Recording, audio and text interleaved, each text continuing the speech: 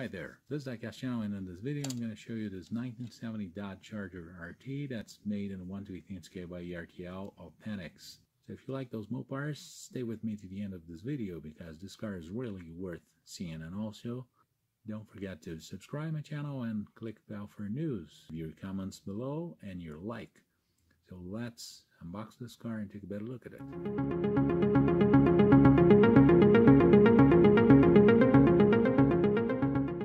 So here we have the Charger. That's a 1970 Charger that's made in the Panther Pink. This is a Charger RT SE Special Edition, which is a sort of sport luxury car at the time. It's got this white vinyl that looks very nice, the white interior, and a black dashboard. That's typical of a Mopars, uh, especially 1969 and 1970 Mopars. The trim around the taillights, that was new for 1970. The taillights were about the same for 1969. The rally wheels, that look very nice. And the front grille with the bumper that goes all the way around it. This new air intake, fake air intake for 1970. And the general lines of the car that are very attractive that made the 1968 to 1970 the most wanted chargers of all times.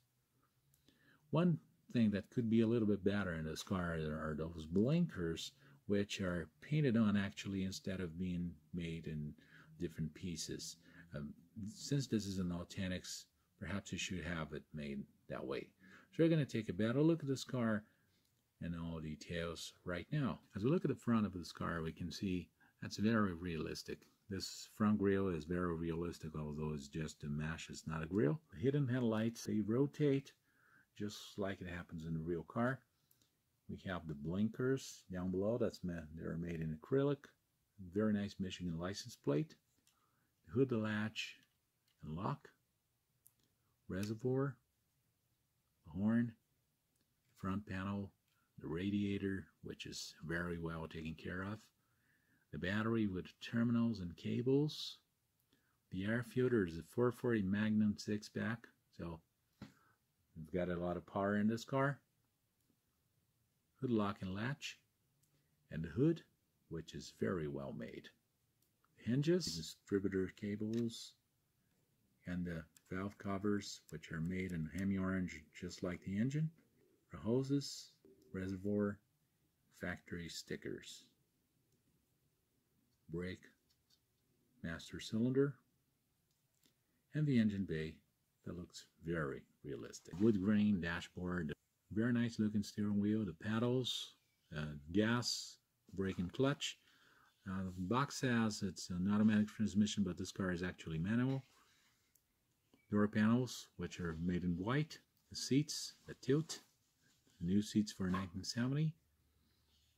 The gauges look very realistic. They are all made in acrylic pieces and separate pieces actually instead of being just stickers this chrome trim that's actually a decal, but it's a chrome decal actually, not just the paint. Mirror and the vent windows, which are fixed in ERTL Authentics. Interior's got a carpet. There's no rubber floor mat here. And the seat belts with a buckle. Look very realistic. There's also this trim that looks very elegant. And those pinstripe gas cap for chargers, which look like the ones in competition cars. One more look at the interior, we can take a better look at the dashboard, the gauges, radio, glove compartment lid, gear lever, the pedals, seats with seat belts and buckles, rear seat on the rear panel. This car's got power windows. There's also that compartment on the door panel and the door panel with the wood grain pattern with the armrest. Headliner with a dome light and sun visors.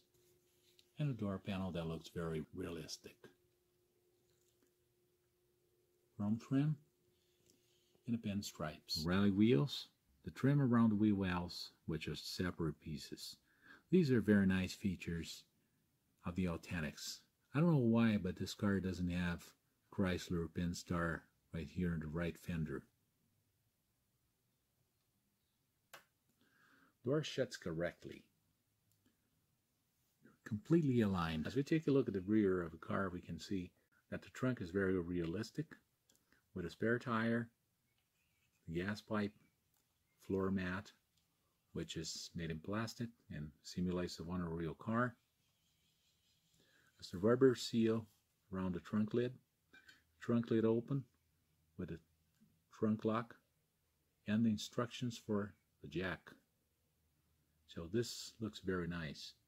The tail lights look like the ones for 1969, but they have this different trim around them with a Charger RT logo right here in the center integrated to the same trim. Trunk lock, which is a separate piece. The bumper, which is very realistic. Reverse lights and dual exhaust. The rear of this car looks fantastic. The base of this ERTL Authentics is much better made than those simpler ERTL lines.